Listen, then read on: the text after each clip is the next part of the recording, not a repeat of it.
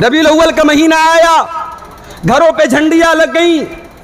बाइकों के ऊपर, गाड़ियों के ऊपर हमने स्टिकर लगा दिए, झंडे लगा दिए, साहब। हमें रसूल से बड़ी मोहब्बत है। हमारी ज़िंदगी में रसूल कहाँ है? हमारे किरदार में रसूल कहाँ है? हमारे कैरेक्टर में रसूल कहाँ है? मेरे नौजवान भाइयों मेरी माँ और बहनों, ज़रा उस नबी की सीरत को उठा के देखो। उस नबी ने ज़िंदगी कैसी गुजारी? सलाम उस पर के जिसके घर में चांदी थी, न सोना था। सलाम उस पर के टूटा बोरिया जिसका बिछौना था। सलाम उस पर जो उम्मत के लिए रातों को रोता था। सलाम उस पर जो फर्शे खाक पर जाड़े में सोता था। अल्हम्दुलिल्लाह नहमदुहु व नस्तईनुहु व नस्तगफिरुह व नऊज़ु बिल्लाहि मिन शुरूरि अनफुसिना व मिन सय्यिआति अमालिना।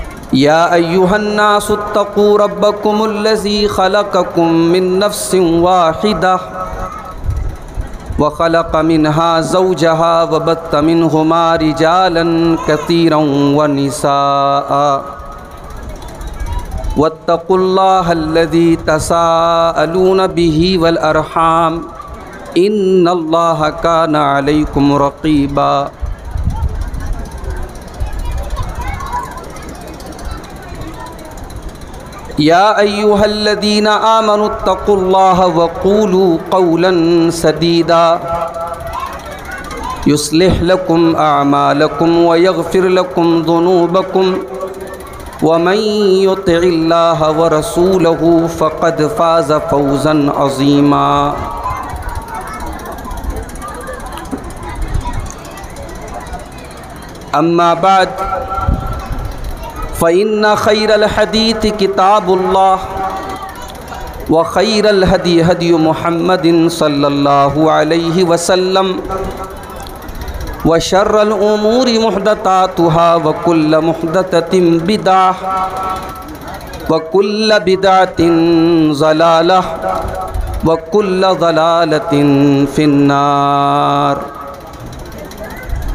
कुल्ल ज़लालतिन फिन्नार अऊज़ु बिल्लाहि मिनश शैतानिर रजीम बिस्मिल्लाहिर रहमानिर रहीम अलम यानि लिल्लज़ीना आमनु अन तख्शा क़ुलूबुहुम लिज़िक्रिल्लाह अन तख्शा क़ुलूबुहुम लिज़िक्रिल्लाहि वमा नज़ल मिनल हक़्क़ि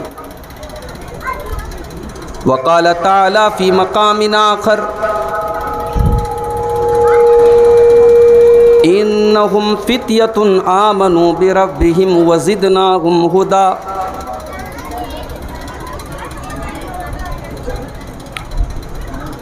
मोहतरम कराम बुज़ुर्गों और दोस्तों नौजवान साथियों माओ और बहनों प्यारे बच्चों दौलतपुर, सिमली, बिहटा में आज का ये प्रोग्राम जो मगरिब की नमाज़ के बाद से शुरू हुआ। और बड़े अहम खिताबात आपने मुख्तलिफ़ के समात फरमाए। मुझसे पहले अभी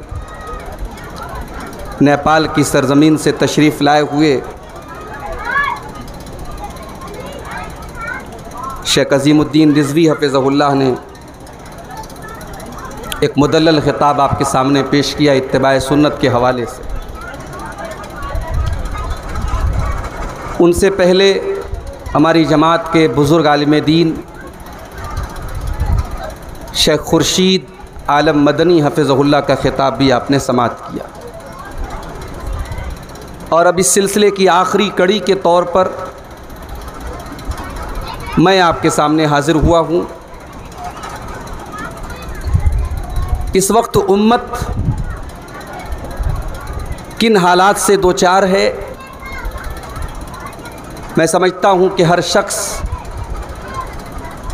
इस बात को महसूस भी करता है और जानता है। पूरी दुनिया में मिलत इस्लामिया की क्या हालत है? और फिर हमारे मुल्क में उम्मत मुस्लिमा को किस किस मोड़ पर और किन किन चैलेंजेस का सामना है, वो भी हम अपनी आँखों से देख रहे हैं। इन हालात में कुरान हदीस की रोशनी में हमारी क्या ज़िम्मेदारी है? मौजूदा हालात में हम क्या करें? हमारा नौजवान क्या करे? इसकी क्या रिस्पॉन्सिबिलिटी है? इसकी क्या ज़िम्मेदारी है? इसे क्या करना चाहिए और क्या नहीं करना चाहिए? मैं चाहता हूँ कि इस पर कुछ रोशनी आज के ख़िताब में डालूं। हमारे भाइयों ने ये शामियाना लगाया है बारिश के ख़तरे के मद्देनज़र। लेकिन बारिश तो नहीं हुई, लेकिन इस शामियाने की वजह से मुकर्रीन के लिए मसला बहुत हो गया, मौसम बहुत यहाँ गर्मी जो है वो हद से ज़्यादा हो गई। बहरहाल, बड़ी मेहनतों से, बड़ी मशक्क़तों से हमारे नौजवानों ने आज की ये मजलिस सजाई है। दुआ कीजिए अल्लाह इनकी इस मेहनत को कबूल फ़रमाए। और जितने हमारे भाई बहन, हमारी माएँ बहनें, हमारे मर्द हजरात यहाँ आए हैं, अल्लाह ताला सब की हाज़िरी को कबूल फ़रमाए और हम सबको कहने सुनने से ज़्यादा अमल की तोफ़ी अता फ़रमाए। आमीन। मेरे भाइयों, कुरान मजीद की एक आयत मैंने आपके सामने पढ़ी सुर हदीद की एक आयत करीमा मैंने पढ़ी। उस आयत में अल्लाह ताला ने हमसे और आपसे क्वेश्चन किया है, एक सवाल किया है। अलमियादीन आमनु अन तक्षा कुलूबहुम ईमान वालो, क्या अभी वो वक्त नहीं आया कि अल्लाह का ज़िक्र सुन करके तुम्हारे दिल पिघल जाएँ, तुम्हारे दिल डर जाएँ, तुम्हारे दिल झुक जाएँ? तुम्हारे दिलों में अल्लाह का डर कब पैदा होगा? ये अल्लाह ताला हमसे और आपसे सवाल कर रहा है। कि कुरान पढ़ा जा रहा है। अल्लाह की आयतें पढ़ी जा रही हैं। लेकिन तुम्हारे दिल की शक्ति में कोई कमी नहीं आ रही है। तुम्हारा दिल वैसे ही कठोर है, सख्त है। तो कब तुम्हारा दिल नरम होगा, कब तुम्हारे दिल में अल्लाह का डर पैदा होगा? कुरान करीम की इस आयत को सामने रखिए। और पूरी दुनिया में उम्मत के जो हालात हैं ज़रा अपने जहन में उन हालात का एक सरसरी सा जायज़ा ले लीजिए। फ़लस्तीन से लेकर आपके मुल्क की सरजमीन पर रोज़ाना जो वाक़ात हो रहे हैं, जो हालात हो रहे हैं, इन सबको देखने के बाद अब कुरान की ज़रा इस आयत को पढ़िए। आमनु अन तक्षा कुलूबहुम लिज़िक्रिल्लाह। ईमान वालो, क्या अभी वो वक्त नहीं आया कि तुम अल्लाह का कलाम सुन करके तुम्हारे दिलों में अल्लाह का डर पैदा हो जाए, अल्लाह का खौफ पैदा हो जाए? कुरान की आयतों को सुन करके तुम्हारे दिल में अल्लाह का खौफ पैदा हो जाए, तुम्हारे दिल नरम पड़ जाए, तुम्हारे दिल झुक जाए। मेरे भाइयों, हम और किन हालात का इंतज़ार कर रहे हैं? हम किस चीज़ का इंतज़ार कर रहे हैं? हमारा नौजवान खाबे खरगोश के मज़े लूट रहा है। मौज मस्तियों में लगा हुआ है। कोई शराब के नशे में धुत है। कोई बैठ करके जुआ खेल रहा है, ऑनलाइन या ऑफलाइन। कोई गैर महरम से बातें करके लज्जत हासिल कर रहा है।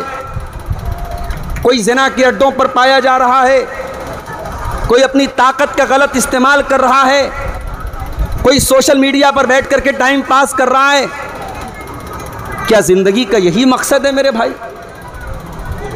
हम इस दुनिया में क्यों आए हैं? हमारी ज़िंदगी का पर्पस क्या है? हमारी ज़िंदगी का मकसद क्या है? वमा खलकुल जिन्न वल इंसबून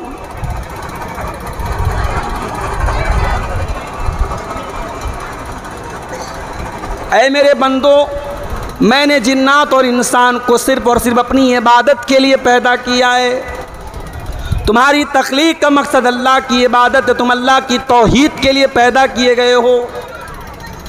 हमें अल्लाह ने अपनी तोहीद के लिए पैदा किया है। हमारी ज़िंदगी का मकसद अल्लाह की तोहीद पर मरते दम तक कायम रहना है। आज आप देख लीजिए, कितने मुसलमान तो ऐसे हैं, वो तोहीद का मतलब ही नहीं जानते। खुलेआम वो शिर कर रहे हैं। उनके हाथों पर, उनकी गर्दनों पर आपको लाल, काले, पीले धागे मिल जाएँगे और उन धागों को वो मुश्किल कुशा बना के बैठे हैं। कितनी मुसलमान औरतें आपको कब्रों पर जाकर के सर झुकाती हुई मिलेंगी। कितने मुसलमान अल्लाह को छोड़ करके अल्लाह के किसी नबी को, किसी वली को, किसी बुज़ुर्ग को, किसी पीर को, किसी बाबा को औलाद देने वाला, मुसीबत दूर करने वाला, बिगड़ी बनाने वाला समझते। और वही मुसलमान जो अल्लाह का दर्जा किसी और को देता है, जब नमाज़ में आता है, अल्लाह के सामने कहता है ईया का नाबुद व ईया का नस्तीन अय अल्लाह, मैं तेरी ही इबादत करता हूँ। हम तेरी ही इबादत करते हैं और तुझी से मदद चाहते कितनी बड़ी गद्दारी है, कितनी बड़ी नमक हरामी है कि अल्लाह की ज़मीन पर, अल्लाह की धरती पर रहने वाला, अल्लाह की ऑक्सीजन में सांस लेने वाला, अल्लाह की रोज़ी खाने वाला, अल्लाह के टुकड़ों पर पलने वाला, अल्लाह की दी गई रोज़ी रोटी पर जीने वाला, अल्लाह के साथ शिर करता है मेरे भाई आज मुसलमान को अपनी ज़िंदगी का मकसद भी नहीं मालूम। हमारी ज़िंदगी का मकसद तोहीद है, तोहीद।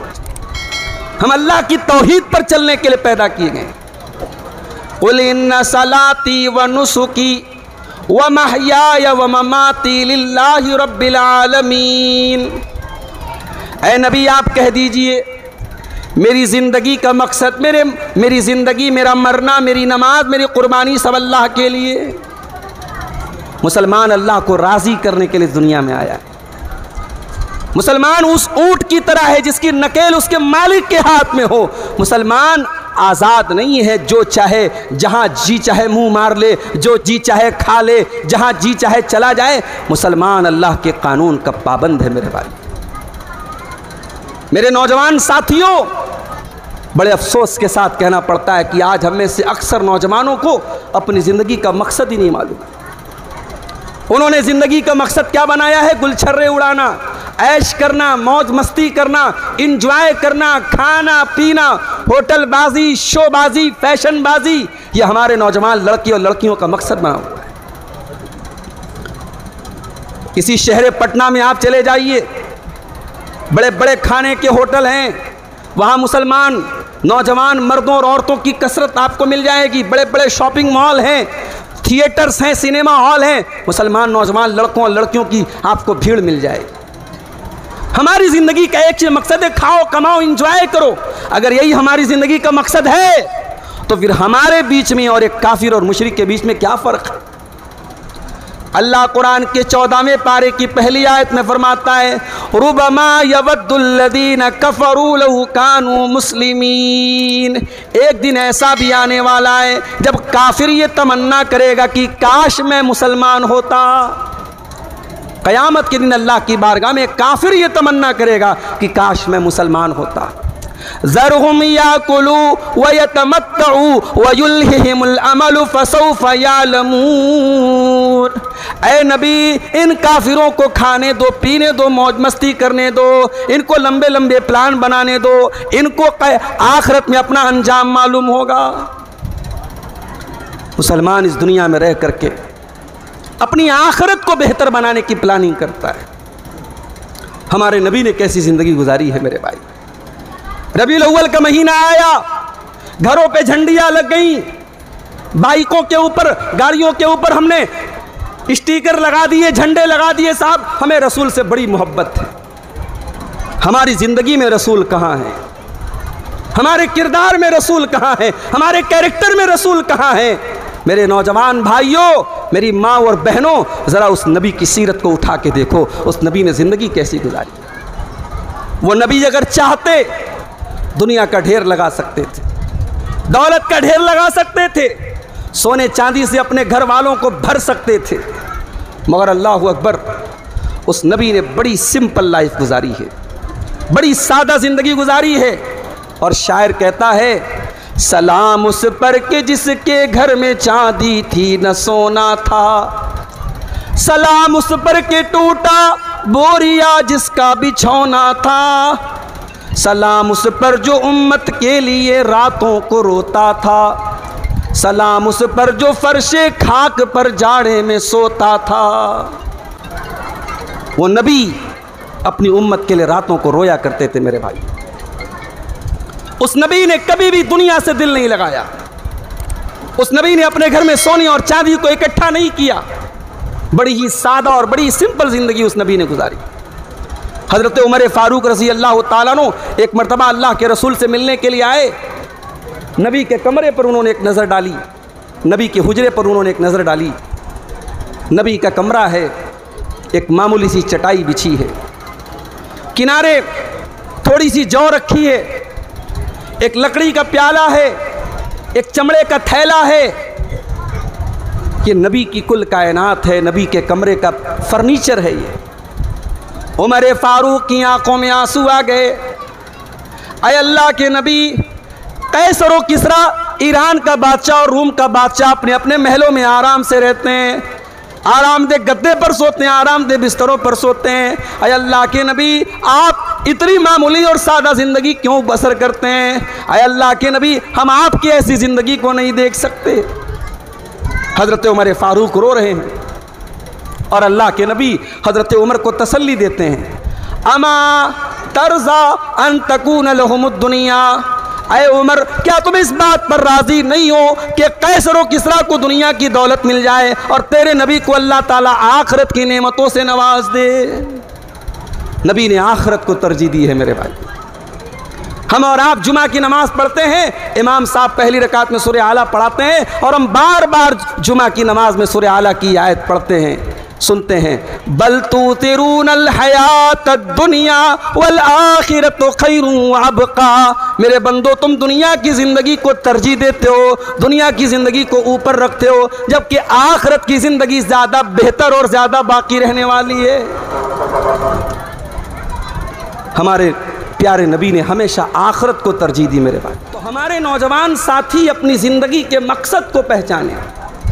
ज़िंदगी का मकसद सिर्फ़ खाना, कमाना इंजॉय करना नहीं है। दुनिया कमाओ मेरे भाई। मैं ये भी नहीं कहता हमारा नौजवान बेकार बैठा रहे। हमारा नौजवान दूसरों का से भीख मांगे। हमारा नौजवान कमज़ोर रहे, नहीं स्ट्रांग बनो, मज़बूत बनो। फाइनेंशियली भी मज़बूत बनो। पैसा कमाओ, जायज़ हद में रह करके, जायज़ तरीके से। मगर पैसे को सब कुछ मत समझो। दुनिया को सब कुछ मत समझो, दौलत को सब कुछ मत समझो। इस दुनिया की दौलत के ज़रिए भी तुम आखरत की तैयारी करो। कुरान करीम में अल्लाह ताला ने कारून का वाक़ बयान किया। कारून बहुत पैसे वाला था। इतना पैसा था उसके पास कि अल्लाह कहता है वह आतना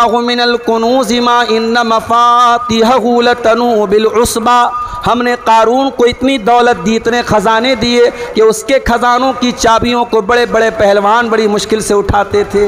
इतनी दौलत थी कारून की। कारून की कौम के कुछ ईमान वाले, कुछ समझदार लोगों ने कारून को नसीहत की थी। और क्या कहा था? वब तकफ़ी मा आता कल्लादार आखिरा। अय कारून अल्लाह ने तुझको जो दौलत दी है, इस दौलत के ज़रिए तू आखरत की तैयारी कर। वाला तनसा नसीब मिनत दुनिया, और दुनिया में जो तेरा हक है, जो तेरा हिस्सा है, तू उसको भी मत भूल। तू दुनिया में भी अपना हक, जो तुझे हक मिला है, उस हक को तू अदा कर और आखरत की तैयारी कर। तो पैसा कमाना बुरा नहीं है मेरे भाइयों। लेकिन पैसे को, दुनिया को, दौलत को सब कुछ समझ लेना, ये मसला है। और आज ये चीज़ हमारे नौजवानों को बर्बाद कर और आगे बढ़िए। एक और चीज़ अपने नौजवानों के अंदर हम देख रहे हैं। उनके पास टाइम बहुत है। फेसबुक पर लग गए तो लग गए इंस्टाग्राम पे लग गए तो लग गए। इंस्टाग्राम की एक रील देखी इंस्टाग्राम को भी पता है कि इन हज़रत को क्या पसंद है। आप गंदी वाली वीडियो देखेंगे इंस्टाग्राम गंदी वाली वीडियो आपको रिकमेंड करेगा। आप तकरीरें सुनेंगे इंस्टाग्राम तकरीरें आपको रिकमेंड करेगा। आप कुरान की तिलावत सुनेंगे इंस्टाग्राम आपको तिलावत रिकमेंड करेगा। आप, हम लोग बोलते हैं ना कि यूट्यूब पर ऐड आता है। यूट्यूब पर गंदे गंदे ऐड आते हैं। कभी गौर कीजिएगा। यूट्यूब के ऊपर या सोशल मीडिया पर जो ऐड आता है, वो आपकी बातों को सुन करके और आपकी पसंद के हिसाब से आता है। बल्कि हमारे एक दोस्त कहने लगे कि मोबाइल के अंदर जब नेट ऑन रहता है तो हम जो बातचीत करते हैं, मोबाइल उसको भी सुनता है। आप बार बार अगर किसी बात को बोलेंगे, आप गौर कीजिएगा फेसबुक पर यूट्यूब पर उसका ऐड आने लगेगा। तो आप ये मत समझिए इंस्टाग्राम पर अगर आप गंदी वीडियोस देख रहे हैं, आपका जौक और आपकी पसंद और आप लाइक कर रहे हैं ऐसी चीज़ों को, इसलिए इंस्टाग्राम आपको दिखा रहा है। और हमारा नौजवान ऐसी चीज़ों को देख रहा है। छोटे छोटे बच्चों से लेकर सत्तर साल के बुज़ुर्गों तक का ये मसला हो गया। इस सोशल मीडिया ने आज सबको बेहया बना दिया मेरे भाइयों। अल्लाह के प्यारे नबी फरमाते हैं अल हया मिनल ईमान हया ईमान का एक हिस्सा है। अगर इंसान के अंदर से हया निकल गई, इंसान बेहया हो गया, अल्लाह के प्यारे नबी सल्लल्लाहु अलैहि वसल्लम फरमाते हैं इज़ालम तस्ता ये फसना माशीता जब इंसान बेहया हो जाए तो कुछ भी कर सकता है। आज इस सोशल मीडिया ने हमारे नौजवानों को बेहया बना दिया। आज आप बड़े बड़े शहरों में चले जाएँ। आप पटना बहुत करीब है, आप पटना शहर में चले जाएँ। मैं दावे के साथ कहता हूँ, कोई स्टोरी नहीं है, कोई कहानी नहीं है। जाओ आप पटना के बड़े बड़े मार्केटों और बाज़ारों में जाकर के आप इस चीज़ को देख सकते हैं। कितनी मुसलमान लड़कियाँ घर से नकाब में निकली हैं। घर से मुकम्मल पर्दे में निकली हैं। हाथों में दस्ताना भी है, पैरों में काला मोजा भी है। सर से पैर तक मुकम्मल नकाब और पर्दे में है और बाइक पर जा रही है किसी लड़के के साथ और लड़के के हाथ का कलावा और लड़के के हाथ का कड़ा ये बता रहा है, लड़का मुस्लिम नहीं है। यानी बदकारी भी हो रही है, जिनाकारी भी हो रही है और एक तो करेला और ऊपर से नीम चढ़ा, ये है कि मुशरक और काफिर के साथ ये गंदा काम हो रहा है। और ये कोई बनावटी बात नहीं, मैं अपनी आँखों से आज बनारस से पटना तक मार्केटों और बाज़ारों में ये मंज़र मुझे दिखता है मेरे भाई। मैंने अपने एक दोस्त से कहा कि भाई, ये देख करके बड़ा अफसोस होता है तो उन्होंने कहा, मौलाना, ज़्यादा अफसोस ना कीजिए। ये लड़कियाँ, ये लड़के टाइम पास कर रहे हैं। अब ये टाइम पास करने में अपनी जवानी, अपना, अपनी इज़्ज़त, अपनी, अपना वकार, अपनी आबरू सब बेच सकते हैं। एक दूसरे के साथ वो सब कुछ कर सकते हैं जो नाजायज़ और हराम है और उसको नाम देंगे कि हम साहब टाइम पास कर रहे थे। मेरे नौजवान साथियों, अल्लाह के वास्ते, अल्लाह ताला ने अगर आपको जवानी दी है, अगर अल्लाह ताला ने आपको ताकत दी है, इस ताकत और इस जवानी का मिसयूज़ ना करो। अल्लाह ताला ने अगर आपके जिस्म को इस लायक बनाया है कि उस जिस्म का आप सही इस्तेमाल कर सकते हैं, उस जिस्म का गलत इस्तेमाल ना करो। मैं अपनी तमाम मुसलमान बहनों से कहना चाहूँगा, अल्लाह ताला ने आपके लिए हराम कर दिया है आपके जिस्म को किसी गैर महरम के लिए।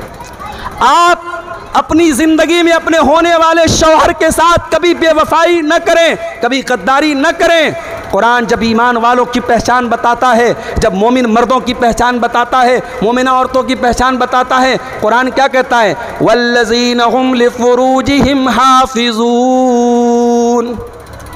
मेरे कामयाब बंदे वो होते हैं जो अपनी शर्मगाह की हिफाजत करते हैं, अपनी आबरू की हिफाजत करते हैं, अपनी इज़्ज़त को गवाते नहीं हैं। एक नौजवान, मैं जानता हूँ मुश्किल है इस दौर में। आसान नहीं है इन फितनों से अपने आप को बचाना। दुनिया के बड़े बड़े फितनों में शर्मगा का फितना भी एक फितना है। और एक ऐसे दौर में, जब शादी ब्याह में हमने दुनिया भर की रस्म और रिवाज को लाद दिया है, बारात हमारी शादी में, जहेज हमारी शादी में बड़ी बड़ी रस्में हमारी शादी में, एक गरीब इंसान अगर अपनी लड़की लड़की लड़की, लड़का की शादी करने के लिए खड़ा होता है, उसके सामने खर्चों का एक अंबार होता है। हाँ एक तरफ़ हमने निकाह को इतना मुश्किल बना दिया और जिनाकारी इस कदर आसान हो गई कि आज कोई शहर ऐसा नहीं, कोई कस्बा और कोई टाउन ऐसा नहीं जो जिना के अड्डों से आबाद न हो। एक ऐसे दौर में जब निकाह को मुश्किल कर दिया गया और जिना को आसान कर दिया गया फिर भी मेरे नौजवान भाइयों और बहनों, इस दौर में भी आपको अपनी शर्मगा की हिफाजत करना है, अपनी आबरू की हिफाजत करना है, अपने आप को हराम रास्तों से बचाना है। यही आपके तकवा का इम्तिहान है, यही आपके ईमान का इम्तिहान है। एक मोमिन एक मोमिन जो हलाल खाता है जो हलाल जानवरों का गोश्त खाता है, उसे सख्त प्यास लगी है, सख्त भूख लगी है, उसके सामने सुअर का के निवाले डाल दिए जाएँ, सुअर के गोश्त की बोटियाँ डाल दी जाएँ। मोमिन मर जाना गवारा करेगा, मगर उन हराम चीज़ों को अपने हलक के नीचे उतारना पसंद नहीं करेगा। तो जिस तरीके से खाने में, ओढ़ने में, पहनने में आप अल्लाह के हलाल और हराम का फ़र्क करते हैं, मेरे भाइयों और बहनों, अल्लाह ताला ने रिश्तों में भी हलाल और हराम का मामला रखा है। ये बॉयफ्रेंड और गर्लफ्रेंड का रिश्ता, ये लिव इन रिलेशनशिप का रिश्ता, और ये आज लड़के लड़कियों का बगैर शादी के एक दूसरे के साथ घूमना, फिरना, ये हराम रिश्ते हैं। और ये बात याद रखो, हराम रिश्ते में मोहब्बत नहीं होती। ये मोहब्बत के दावे फेसबुक के ज़रिए व्हाट्सएप के ज़रिए लाख किए जाएँ। एक दूसरे के लिए जान देने की बात की जाए, ये मोहब्बत नहीं होती, ये हवस की तस्कीर होती है। और यही वजह है कि जब ये इस मोहब्बत में आशिक अपनी महबूब चीज़ को पा लेता है तो कभी चाकू से गोद गोद करके अपनी महबूबा की हत्या कर देता है, कभी उसके जिस्म के टुकड़े टुकड़े कर देता है। कभी आज तक आपने नहीं सुना होगा कि निकाह के ज़रिए जो मोहब्बत होती है, जो मियाँ बीवी में मोहब्बत होती है, वहाँ ऐसी दरिंदगी पेश की गई हो। शाजो नादिर कभी ऐसा होता है, वरना आम तौर से जो निकाह के ज़रिए जो मियाँ बीवी मोहब्बत होती है, वो बड़ी पाक साफ़ और बड़ी साफ़ सुथरी होती है। तो शर्मगा का फितना भी हमारी नौजवान नस्ल को मेरे भाइयों, बर्बाद कर रहा है। इसीलिए अल्लाह के प्यारे नबी सल्लल्लाहु अलैहि वसल्लम फरमाया कि तुम दो चीज़ों की मुझे गारंटी दे दो। मैं यजमन ली मा बई न लही व मा बई न रिजलही अजमन लहुल जन्ना। दो चीज़ों की गारंटी दे दो। मैं तुम्हें जन्नत की गारंटी देता हूँ। एक ज़बान की गारंटी दे दो। एक शर्मगाह की गारंटी दे दो। ज़बान का गलत इस्तेमाल न करो और शर्मगाह का गलत इस्तेमाल न करो। जिनाकारी से अपने आप को बचाओ, गीबत से बचाओ, चुगली से बचाओ, झूठ से बचाओ। इन दो चीज़ों की तुम ज़िम्मेदारी ले लो। मैं जन्नत की गारंटी लेता हूँ। मेरे भाइयों, आज हमारे नौजवान भाइयों और बहनों का एक मसला और भी है। और वो क्या है? आज हमारे नौजवान इबादत से दूर हैं, मस्जिद से दूर हैं। आज मस्जिदों में आप चले जाइए। माशाल्लाह, आपके इस इलाके में मैं आया। मुझे बड़ी खुशी हुई। मेरे भाइयों ने दिखाया यहाँ मस्जिद को। पुरानी इमारत थी, कमज़ोर इमारत थी। उसको तोड़ करके, मुनहदिम करके नई मस्जिद कायम करने के लिए उठे हैं।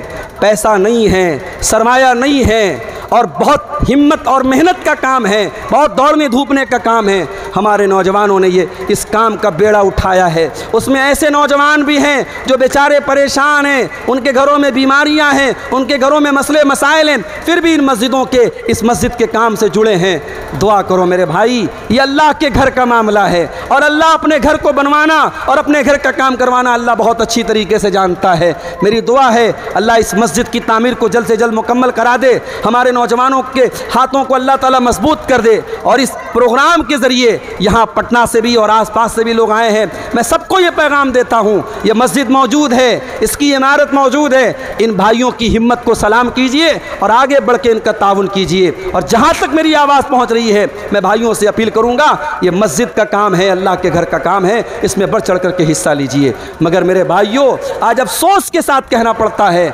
हमारी अक्सरियत आज मस्जिद से दूर है।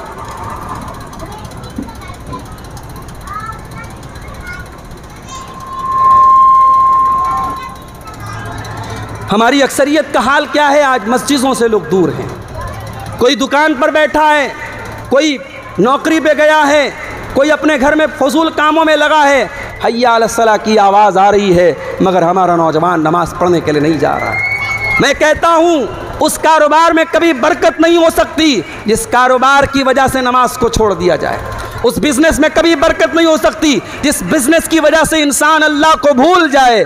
याद रखो मेरे भाइयों, अल्लाह के नेक बंदों की पहचान क्या है? अल्लाह कुरान में कहता है सुर नूर के अंदर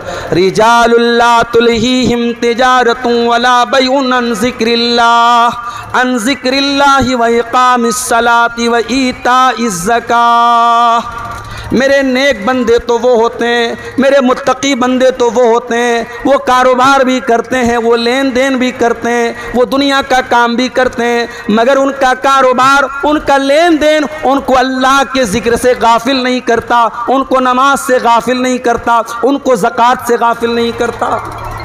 बिज़नेस अपनी जगह पे, काम अपनी जगह पे और नमाज़ अपनी जगह पे। हयाल सलाह की आवाज़ आ जाए, मस्जिद की तरफ़ बढ़ो मेरे भाइयों और ये सारे कारोबार और सब चीज़ें इनको किनारे कर दो। मस्जिद में आओ, अपने बिज़नेस की टेंशन अपने कारोबार की टेंशन सब छोड़ के मस्जिद में आओ। और वल्लाह, अगर आपने नमाज़ की पाबंदी कर ली, नौजवानों को एक मैसेज देना चाहता हूँ, अगर आपने नमाज़ की पाबंदी कर ली, आप महसूस करेंगे, ज़िंदगी से बहुत सारी प्रॉब्लम हल हो जाएँगी। बहुत सारी टेंशन ख़त्म हो जाएगी, बहुत सारे मसले ख़त्म हो जाएँगे। बंदा जब अल्लाह के सामने सर झुकाता है, मेरे भाई अल्लाह के नबी फरमाते हैं अकरब मा यकून लब्दमिन रब ही वह साजिद। बंदा अपने रब से बड़ा करीब होता है। बंदा अपने रब से सबसे ज़्यादा करीब सजदे में होता है। जब जब बंदा अल्लाह के सामने सजदा करता है अल्लाह से कम्युनिकेट करता है अल्लाह से गुफ्तु करता है अल्लाह से अप, अपना दुखड़ा अपनी शिकायतें अपने ज़िंदगी के मसाइल अल्लाह के सामने पेश करता है। मेरे अजीज़ों शायर ने कहा था, वो एक सजदा, इसे तू गिरा समझता है। हज़ार सजदों से देता है आदमी को नजात। अल्लाह के सामने झुकने वाले बन जाओ, फिर कहीं और झुकने की इन नौबत नहीं आएगी। और इस नमाज़ का दूसरा फ़ायदा आपको बता रहा हूँ। नमाज़ की पाबंदी करेंगे, बहुत सारी गंदी आदतें छूट जाएँगी। बहुत सारी बुरी आदतें छूट जाएँगी, बेहयाई छूट जाएगी। जब इंसान नमाज़ की पाबंदी करेगा, कोई गंदा काम करने के पहले सोचेगा, मैं फजर की नमाज़ कैसे पढ़ूँगा? कोई गंदा काम करने के पहले सोचेगा, मैं अल्लाह के सामने किस मुँह से जाके खड़ा होऊँगा? ये नमाज़ आपको बेहयाई से रोकेगी। और ये मैं नहीं कहता, ये मेरे रब का कुरान कहता है इन सला तनहा अनिल फाहशा इवल मुनकर। बेशक ये नमाज़ बेहयाई से और बुराई से रोकती है। इसलिए मेरे अजीज़ों, नमाज़ के पाबंद बनो और नमाज़ से इतनी मोहब्बत पैदा करो, इतना लगाव पैदा करो कि अल्लाह ताला उन खुश नसीबों में हमें भी शामिल कर दे। अल्लाह के प्यारे नबी फरमाते हैं, सात किस्म के लोग ऐसे होंगे जिनको क़यामत के दिन अल्लाह ताला अपने अर्श का साया देगा। उन सात खुश नसीबों में एक वो आदमी भी होगा, वह रजुल कल्ब हो बिल मसाजिद, जिसका दिल मस्जिद में अटका हो, जिसका दिल मस्जिद में लगा हो, उस खुश नसीब इंसान को अल्लाह ताला क़यामत के दिन की गर्मी से बचाएगा। क़यामत के दिन जब सूरज एक मील की दूरी पर होगा, अल्लाह ताला उस इंसान को गर्मी से बचाएगा। मेरे अजीज़ों, और आगे बढ़िए।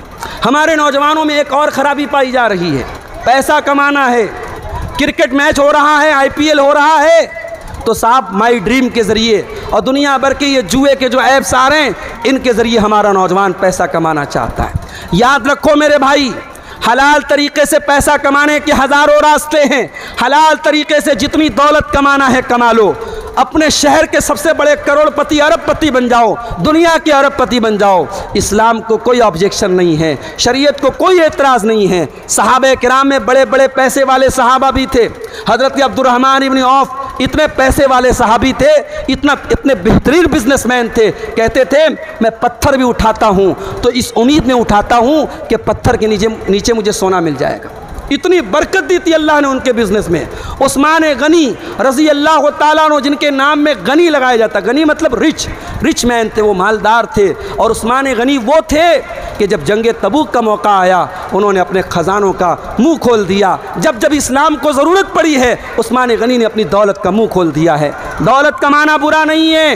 दौलत के लिए जुआ का सहारा लेना, हराम तरीके से ट्रेडिंग करना हराम चीज़ों की ट्रेडिंग करना, हराम तरीके के ऐप्स के ज़रिए पैसा कमाना और पैसा कमाने के बाद ओलमा से पूछना कि मौली साहब, ये फ़लाँ ऐप के ज़रिए पैसा कमाना कैसे? पहले लाखों कमा चुके, पहले लाखों कमा चुके, अब मौली साहब से पूछ रहे हैं, पैसा कमाना कैसा है?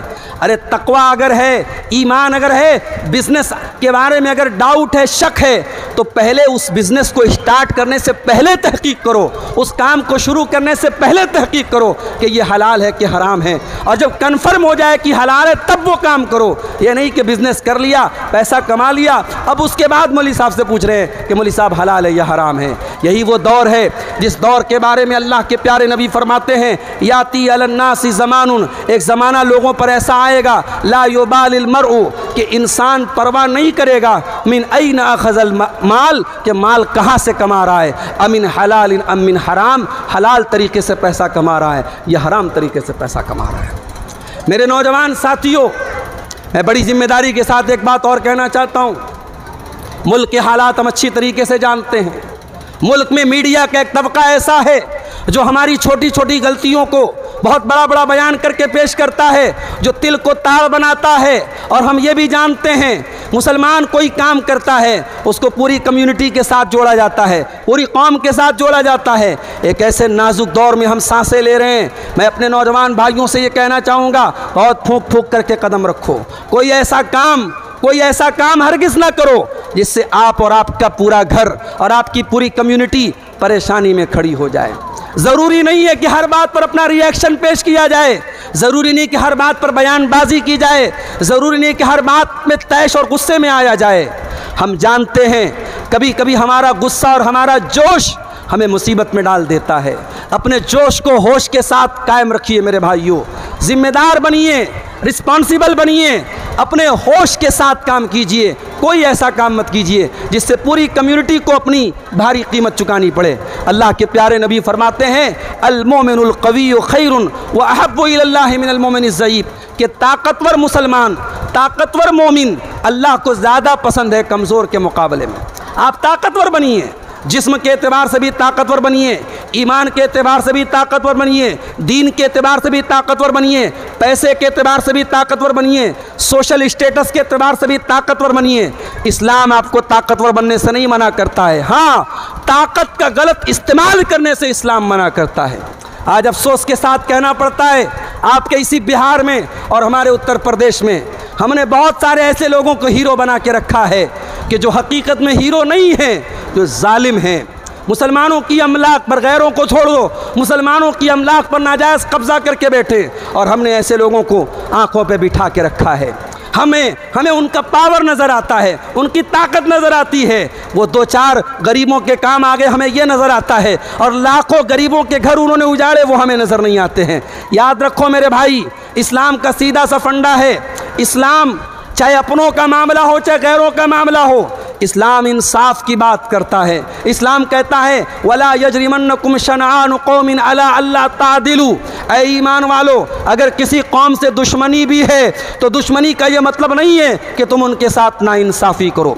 दुश्मन के साथ भी जस्टिस और दुश्मन के साथ भी न्याय और इंसाफ से काम लो। यही अल्लाह का हुक्म है, यही तकवा है, यही दीनदारी है। मेरे अजीज़ों, आज हमें अफसोस के साथ कहना पड़ता है। हमारे बहुत सारे नौजवान ताकत का गलत इस्तेमाल करते हैं और जराइम के रास्ते पर चले जाते हैं। उनकी ताकत गलत जगहों पर यूज़ होती है। उन सुराखा का ालिमन व मजलूमन। अल्लाह के प्यारे नबी फरमाते हैं, अपने भाई की मदद करो। अगर वो ालिम है, तब भी मदद करो। और वो मजलूम है, तब भी मदद करो। साहबा ने कहा अल्लाह के नबी, मजलूम की मदद तो समझ में आती है। ालिम की मदद कैसे करें? प्यारे नबी ने फरमाया ालिम को जुल्म करने से रोको। जालिम को मना करो। जालिम का हाथ रोक लो। जालिम को जुल्म मत करने दो। तो हमें जुल्म नहीं करना है, हमें जुल्म को रोकना है, हमें हर जुल्म वाली ताकत को रोकना है। और अगर इस मुल्क में हम रहते हैं, इस मुल्क के कानून के दायरे में रहकर, इस मुल्क के संविधान के दायरे में रहकर हमें हर जुल्म के ख़िलाफ़ आवाज़ उठाना है, ये एक नागरिक के नाते भी हमारा कर्तव्य है और इस्लाम भी इस बात की हमें तालीम देता है। मेरे भाइयों, मेरी माएँ बहनें भी आई हैं, कुछ उनसे भी कहना है शायर ने सौ साल पहले कहा था, अकबर इलाहाबादी ने सौ साल पहले कहा था, बेपर्दा नज़र आई कल जो चंद बीबियाँ, बेपर्दा नज़र आई कल जो चंद बीबियाँ, अकबर ज़मी में गैरत कौमी से गड़ गया। पूछा जो उनसे आपका पर्दा वो क्या हुआ? कहने लगी कि अक्ल पे मर्दों के पड़ गया। याद रखो, जिस घर की औरतें बेपर्दा होती हैं, उन उस घर के मर्द भी बेगैरत होते हैं। जिस घर में बेटी बेपर्दा निकलती है उस घर का बाप बेगैरत होता है। जिस घर से बीवी बेपर्दा निकलती है, उस घर का शौहर बेगैरत होता है। एक औरत के सर से अगर, एक मुसलमान औरत के सर से अगर पर्दा हटा है, चादर हटी है, नकाब हटा है, उस औरत का जितना कसूर है, उतना ही कसूर उस घर के जेंट्स का, उस घर के मर्दों का भी है। जिस घर के मर्दों से गैरत चली जाए, जिस घर के मर्द बेगैरत हो जाएँ, उस उस घर की औरतें तो बेपर्दा होंगी मेरे भाइयों। अल्लाह के प्यारे नबी ने फरमाया कि तीन लोग ऐसे होंगे, क़यामत के दिन ना तो अल्लाह ताला उनसे बातचीत करेगा, ना पाक साफ़ करेगा, ना उनकी तरफ़ देखेगा। कौन तीन लोग होंगे? नंबर एक अलाक़ोल वालदही अपने माँ बाप को सताने वाला, अपने माँ बाप को दुख देने वाला। नंबर दो वलमर अतुलमतरजिला मर्दों की कॉपी करने वाली औरत। मर्दों के जैसी चाल ढाल, मर्दों के जैसा कपड़ा, मर्दों के जैसी ड्रेसिंग करने वाली औरत। और नंबर तीन अदयूस बेगैरत मर्द, बेगैरत बाप, बेगैरत शौहर, बेगैरत भाई, जिस बेगैरत के घर में बेहयाई हो रही हो और उसको कोई फ़र्क ना पड़ रहा हो। और अपनी मुसलमान बहनों से कहना चाहूँगा, इस पर्दे को, इस नकाब को बोझ न समझना। यह नकाब कोई बोझ नहीं है यह आपको कोई पाबंदियों में जकड़ने के लिए नहीं आया है। मैं बड़ी सिंपल सी मिसाल देता हूँ अपनी तकरीरों में, कि जो चीज़ जितनी कीमती होती है, उसको उतना ज़्यादा पर्दे में रखा जाता है। लोहे की दुकान पे आप चले जाएँ। लोहे का कोई औज़ार लेना है, लोहे का कोई सामान लेना है, लोहे की दुकान पे आपको वो चीज़ें इधर उधर बिखरी हुई मिलेंगी। लेकिन आप ज्वेलर के यहाँ चले जाएँ, आप सोनार के यहाँ चले जाएँ, उससे आप सोने का कोई नेकलेस मांग लें, सोने का कोई हार मांग लें, मान, मांग लें, सोने की कोई नाक में पहनने वाली कील मांग लें तो सोनार उसको अलमारी से निकालता है, उसको डब्बे से निकालता है, उसको इतना पैक करके क्यों रखा? वो बड़ी कीमती चीज़ है। वो लोहा नहीं है, वो सोना है। ए मुसलमान औरत, तू सोना है, तू हीरा है, तू हीरे से भी ज़्यादा कीमती है। और इस्लाम ये कहता है कि तेरे जिस्म पर सबकी नज़र पड़े, तेरे शरीर के अंगों को सारे मर्द देखें, तेरे बदन को सारे मर्द ताकें, ये ये तुझे गवारा नहीं होना चाहिए। तेरा जिस्म किसी की अमानत है, तेरा शरीर किसी की अमानत है, इसके ऊपर किसी का हक है। तू शादी के पहले अपने महरम रिश्तेदारों के सामने, अपने बाप के सामने, अपने भाई के सामने भी चेहरा तो खोल सकती है। ऐसा कपड़ा तुझे अपने बाप के सामने भी नहीं पहनना है, जिससे जिस्म नज़र आता हो। जिससे औरत के बदन बदन नज़र आता हो, ऐसा कपड़ा अपने भाई के सामने भी नहीं पहनना है। सास को अपने दामाद के सामने भी नहीं पहनना है। बहू को अपने ससुर के सामने भी नहीं पहनना है। कुरान क्या कहता है? वला युब्दी नजीन तहन्ना अय और तो अपनी जीनत को ज़ाहिर मत करो। और ये भी याद रखो, हमारे यहाँ कुछ रिश्ते ऐसे होते हैं जिसमें बड़ी बेतकल्लुफ़ी होती है। जैसे जीजा और साली का रिश्ता। जीजा और साली के बीच में हँसी मज़ाक भी हो रहा है। जीजा बाइक पर साली को बिठा के घुमा भी रहा है। देवर भाभी को लेके घूम रहा है। याद रखो मेरे भाइयों, जीजा साली एक दूसरे के लिए गैर महरम है। और देवर भाभी एक दूसरे के लिए गैर महरम है और गैर महरम से औरत को पर्दा करना है। ये अलग बात है, हमारे ज्वाइंट फैमिली सिस्टम है। आमतौर से देवर भाभी का पर्दा नहीं होता है। ये नहीं होता है, गलत है। मगर अगर इतना हो रहा है कि चलो ज्वाइंट फैमिली है आमना सामना हो जाता है। लेकिन फिर भी वो भाभी जिसके सामने देवर आ जाता है, वो अपने आप को मेंटेन करके रखे। ऐसा नहीं कि देवर है तो जैसे दोपट्टा कहीं है, कपड़ा जैसे तैसे है, और उसको कोई परवाह नहीं। और देवर के साथ भोंडे मज़ाक हो रहे हैं, हँसी मज़ाक हो रहा है, ये इस्लाम का कल्चर नहीं है, माफ़ कीजिएगा। ये इस्लाम का कल्चर नहीं है। प्यारे नबी ने फरमाया आपने फरमाया कि गैर औरतों के पास ना जाया करो। साहबा ने पूछा अफ़राई तलहम या रसूल अल्लाह अय अल्लाह के रसूल देवर के बारे में आपका क्या ख्याल है? अय अल्लाह के रसूल जीजा के बारे में आपका क्या ख्याल है? आपने फरमाया अलहम व अलमौत देवर अपनी भाभी के लिए मौत है। देवर अपनी भाभी के लिए मौत है। क्या मतलब? यानी इस रिश्ते में अगर लापरवाही की गई तो मामला यहाँ तक पहुँचेगा कि भाभी से वो काम हो जाएगा, जो भाभी को मौत तक लेके जाता है। यानी बदकारी और जनाकारी तक लेके जाता है। ये इतना बड़ा गुना है, आज हमारे यहाँ आम बात है। और मैं एक बात अक्सर कहता हूँ कि जिस तरीके से अपने घर की जवान लड़कियों को, अपने गाँव के मोहल्ले के गैर महरम लड़कों से बचाते हो वैसे ही अपनी जवान लड़कियों को, उनके खाला के लड़कों से, उनके मामा के लड़कों से, उनके चाचा के लड़कों से भी दूर रहने की तालीम दो। मामा का लड़का महरम नहीं है, खाला का लड़का महरम नहीं है, चाचा का लड़का महरम नहीं है, इन रिश्तों में शादी हो सकती है। इसलिए जवान लड़की हो गई तो इनसे पर्दा करेगी, इनके सामने आने से परहेज़ करेगी, इनसे हाथ मिलाना, इनसे हँसी मज़ाक करना, इनसे प्राइवेट चैटिंग करना, इनसे अकेले में मुलाकात करना, ये वो चीज़ें हैं जो समाज को बर्बादी तक लेके जाती हैं। और अपनी बहनों को एक पैगाम देना चाहूँगा कि अय मेरी बहनों, आपके लिए जन्नत में जाना बहुत आसान है। एक औरत के लिए जन्नत में जाना बहुत आसान है। प्यारे नबी सल्लल्लाहु अलैहि वसल्लम ने फरमाया, औरत चार काम कर ले, जन्नत में चली जाएगी। औरत चार काम कर ले जन्नती है।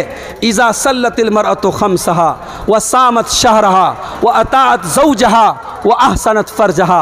औरत अगर पाँचों टाइम की नमाजी है, रमज़ान का रोज़ा रखती है, शादी के बाद अपने शोहर की खिदमत और इतात करती है और अपनी आबरू की हिफाजत करती है, अपनी इज़्ज़त की हिफाजत करती है, बेहयाई नहीं करती, बेपर्दगी नहीं करती, बदकारी नहीं करती अगर ये चार काम औरत कर ले, दखलत मिन अबवाबिल जन्नती शात, ऐसी औरत जन्नत के जिस दरवाजे से चाहे जन्नत में जा सकती है। आज बड़े अफसोस की बात है, जिस मुसलमान के घर में दौलत आ जाती है, चार पैसे आ जाते हैं, उस घर का मुसलमान मॉडर्न हो जाता है। मॉडर्न हो जाता है, और बड़े फ़ख्र से कहता है, साहब, आज मैं अपने बच्चे का बर्थडे मना रहा हूँ। आज मैं अपनी शादी की एनिवर्सरी मना रहा हूँ।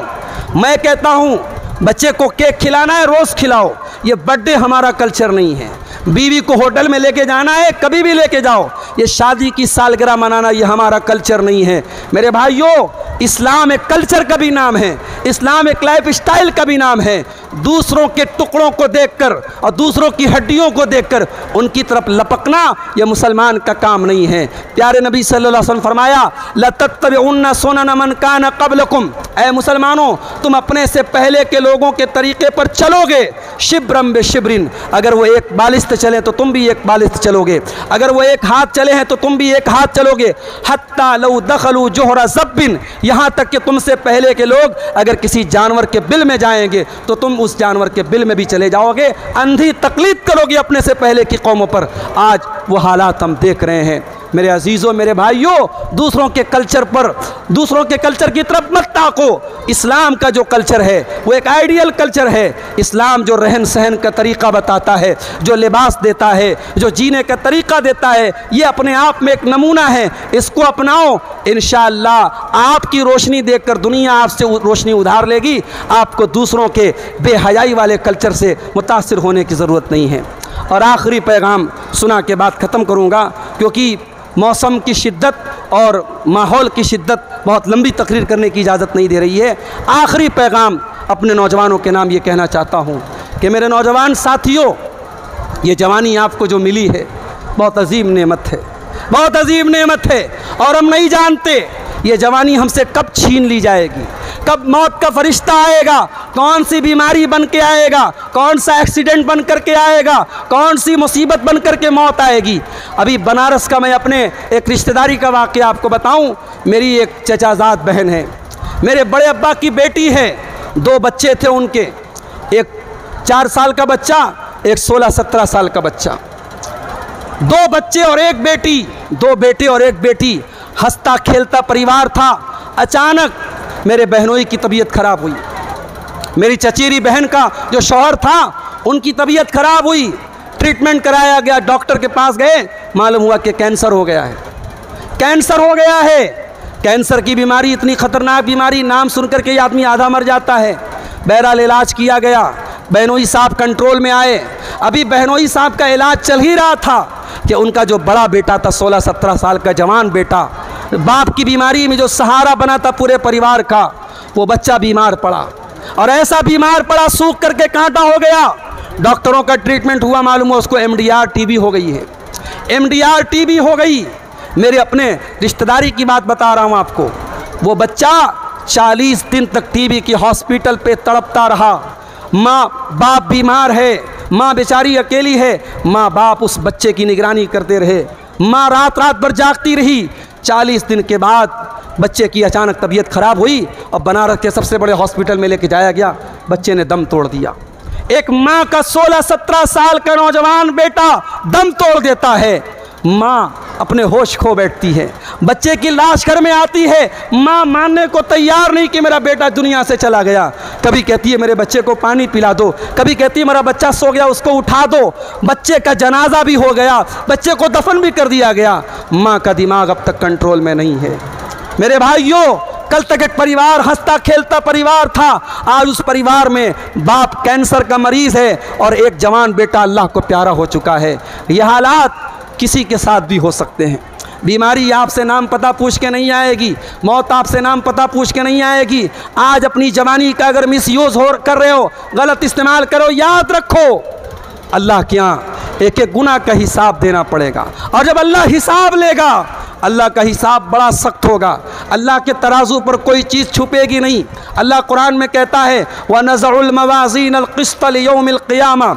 हम क़यामत के दिन इंसाफ का तराजू रखेंगे। हम क़यामत के दिन इंसाफ का तराजू रखेंगे। व इनका नमस्काल हब्बत मिन खरदलिन अतना बिहा। और एक राई के दाने के बराबर भी अगर कोई चीज़ होगी, अल्लाह के अल्लाह के तराजू पर वो सामने आ जाएगी। मेरे नौजवान भाइयों, अपनी जवानी का मिस यूज़ न करो। अपनी ज़िंदगी ऐसी गुजारो कि मौत आ जाए तो पछताना ना पड़े। कहीं ऐसा ना हो, गंदी वीडियो देखते हुए मौत आ जाए।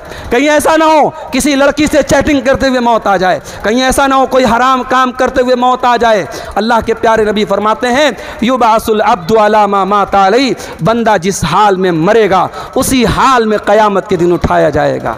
अपनी ज़िंदगी की हर शाम को आखिरी शाम समझो। अपनी ज़िंदगी के हर दिन को आखिरी दिन समझो। जब किसी मैयत में जाओ किसी जनाजे में जाओ और किसी को कब्र में दफनाओ तो सोचो, दुनिया में पंखे चल रहे हैं, कूलर चल रहे हैं, हमसे गर्मी बर्दाश्त नहीं होती। हम कब्र में जाएँगे, वहाँ के अंधेरे में कौन रोशनी करेगा? वहाँ बाप बेटे के काम नहीं आएगा, वहाँ भाई भाई के काम नहीं आएगा, वहाँ माँ बच्चों के काम नहीं आएगी, वहाँ आपका अमल आपको रोशनी देगा, वहाँ आपका ईमान आपको ठंडक पहुँचाएगा। उस कब्र में कभी किसी मैयत को उतारने के टाइम गौर करो, उसी कब्र में हम सबको जाना है। और फिर कब्र के बाद क़यामत की आखरत का भी मामला पेश होना है। इसलिए मेरे भाइयों, प्यारे नबी की एक हदीस सुना करके बात ख़त्म करता हूँ। प्यारे नबी सल्लल्लाहु अलैहि वसल्लम फरमाया, इगतनिम खमसन कबल खमसिन। पाँच चीज़ों की कदर करो। पाँच चीज़ों की वैल्यू को समझो। पाँच चीज़ों के आने से पहले शबाब का कबल हरमिक अपनी जवानी की कीमत को समझो। इससे पहले कि बुढ़ापा आ जाए। आज आप जवान हैं, कल बुढ़ापा आएगा, वो ताकत नहीं रहेगी, वो जिस्म के अंदर एनर्जी नहीं रहेगी, दौड़ने के काबिल नहीं रहोगे, चलने के काबिल नहीं रहोगे। आज आपके गाँव में मस्जिद का काम चल रहा है, आप आराम से अपने घर में लेटे हुए अल्लाह के वास्ते ये मौका बड़े खुश नसीबों को मिलता है। आप आगे बढ़िए। आप आगे बढ़िए। टाइम तो निकालना पड़ेगा। माल तो कुर्बान करना पड़ेगा। वक्त तो देना पड़ेगा। और ये सोच के दो कि ये काम मेरे बच्चों के काम से बड़ा काम है। मेरी फैमिली के काम से बड़ा काम है। मेरे अपने बिज़नेस से बड़ा काम है। इन अल्लाह के घर का मामला है। आप कदम बाहर निकालेंगे। अल्लाह कदम कदम पर आपकी मदद करेगा। मेरे भाइयों, आज ये ताकत है, कल बुढ़ापे में आपको नहीं मिलेगी। और दूसरी चीज़, वह सेहत का कबल सकमिक। अपनी तंदुरुस्ती को गनीमत समझो बीमार होने के पहले। आज आप तंदुरुस्त हैं, हेल्दी हैं, कोई गारंटी नहीं, कल भी आप हेल्दी रहेंगे। कोरोना का दौर हमने देखा है। आगे कौन सा वायरस आएगा हम नहीं जानते, कौन सी बीमारी आएगी हम नहीं जानते। आज तंदुरुस्त है, इसको गनीमत समझो। और आगे आपने फरमाया, वह गना का कबल फ़क्रिक अपनी दौलत और अपने पैसे की कदर कीमत को समझो। इसके पहले कि तुम फ़कीर हो जाओ, गरीब हो जाओ।